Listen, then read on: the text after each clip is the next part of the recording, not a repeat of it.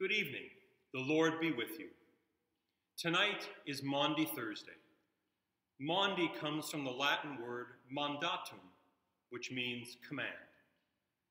And that comes from the Gospel according to St. John chapter 13, where Jesus says, A new command I give to you love one another as I have loved you. Then Jesus proceeded to wrap a towel around his waist, take a basin of water, and wash his disciples' feet. An act of humble service and an image of baptism which washes us all into Christ.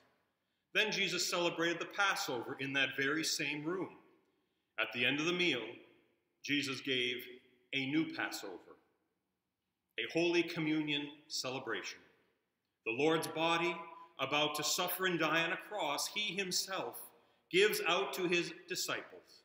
So whenever anyone eats of the bread and drinks of the cup, they proclaim Jesus' death until he comes again. Tonight, we cannot share the new Passover of this blessed Holy Communion.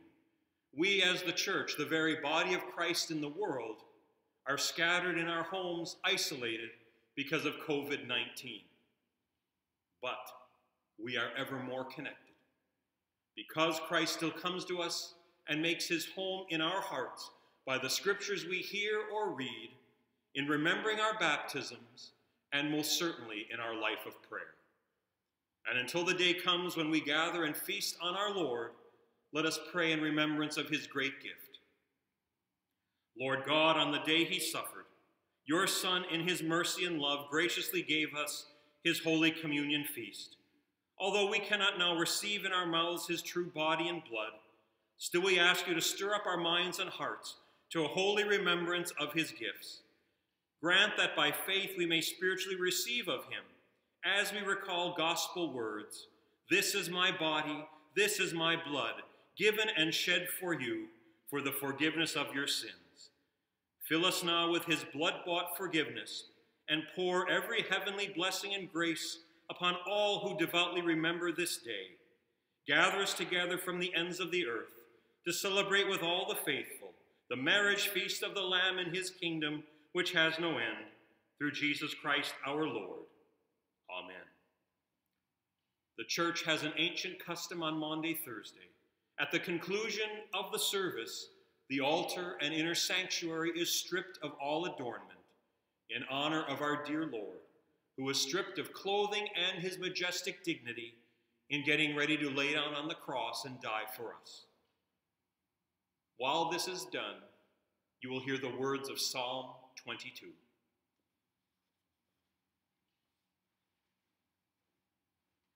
My God, my God, why have you forsaken me? Why are you so far from helping me from the words of my groaning?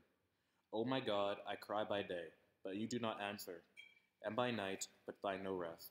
Yet you are holy, enthroned on the praises of Israel. and you our ancestors trusted, they trusted, and you delivered them. To you they cried, and were saved. In you they trusted, and were not put to shame. But I am a worm, and not human, scorned by others, and despised by the people. All who see me mock at me. They make mouths at me. They shake their hands or heads. Commit your cause to the Lord let him deliver. Let him rescue the one in whom he delights. Yet it was you who took me from the womb. You kept me safe on my mother's breast. Oh, you, on you I was cast from my birth, and since my mother bore me, you have been my God. Do not be far from me, for trouble is near, and there is no care, no one to help. Many bulls encircle me; strong bulls of Bashan surround me. They open wide their mouths at me, like a ravening and roaring lion. I am poured out like water, and all my bones are out of joint. My heart is like wax, it is melted within my breast. My mouth is dried up like potsherd, and my tongue sticks to my jaws. You lay me in the dust of death, for dogs are all around me. A company of evildoers encircles me. My hands and feet have shriveled. I can count all my bones. They stare and gloat over me. They divide my clothes among themselves and for my clothing they cast lots. But you, O Lord, do not be far away. O my help, come quickly to my aid. Deliver my soul from the sword, me life from the power of the dog. Save me from the mouth of the lion. From the horns of the wild oxen you have rescued me. I will tell of your name to my brothers and sisters. In the midst of this congregation I will praise you. You who fear the Lord, praise him. All you offspring of Jacob, glorify him. Stand in awe of him, all you offspring of Israel. For he did not despise or abhor the affliction of the afflicted. Did not hide his face from me, but heard when I cried to him. For you comes with my, my praise in the great congregation. My vows I will pay before those who fear him. The poor shall eat and be satisfied. Those who seek him shall praise the Lord. All the ends of the earth shall remember and turn to the Lord, and all the families of the nations shall worship before him. For dominion belongs to the Lord, and he rules over the nations. To him, indeed, shall all who sleep in the earth bow down. Before him shall bow all who go down to the desert, and I shall live for him. Posterity will serve him. Future generations will be told about the Lord.